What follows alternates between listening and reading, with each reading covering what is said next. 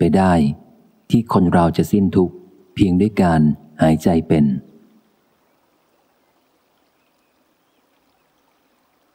ถ้าหายใจยังมีความสุขเป็น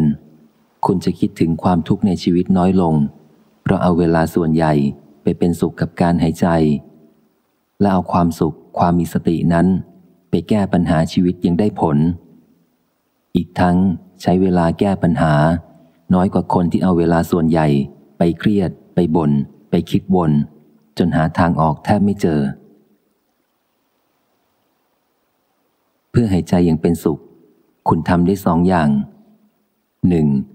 คือหายใจยาวๆ ช้าๆ เพื่อความสุขโดยตรง จากการหายใจให้เต็มอิ่ม 2. คือหายใจอย่างรู้ว่า ลมหายใจไม่ใช่ของของคุณ มันมาหล่อเลี้ยงร่างกาย หมดหน้าที่ก็หายไป ไม่มีตัวคุณอยู่ในลมหายใจที่เข้ามา และไม่มีใครอยู่ในลมหายใจที่ออกไป หายใจแบบพุทธคือหายใจให้อิ่มให้เต็ม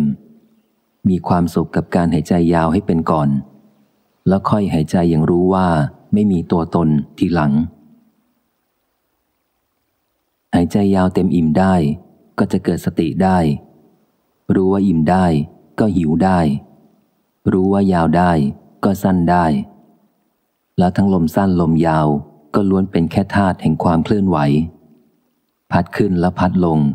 พัดมาแล้วพัดไป เป็นสมบัติของความว่างเปล่า ไร้เจ้าของ ไม่มีใครสั่งให้พัดไปทางไหนได้ทางเดียว หายใจแบบพุทธเป็น จะมีความสุขอีกแบบหนึ่ง แบบที่เห็นว่า ไม่มีใครอยู่ในลมหายใจ แบบที่เริ่มทางใหม่ อยู่ในทิศที่มีสิทธิ์หมดทุกข์ในชีวิตไปเลย เพราะในทิศทางของการหายใจยังไม่มีตัวตน คือทิศทางเดียวกับการเห็นทั่วทั้งกาย ทั่วทั้งใจ ต่างก็เป็นอะไรที่เป็นอย่างเดียวกันกับลมหายใจที่ไร้ตัวตน อ้างอิงพุทธพจน์ อาณาปานสติ อันภิกษุเจริญแล้วทำให้มากแล้ว ย่อมบำเพ็ญวิชาและวิมุตให้บริบูรณ์ได้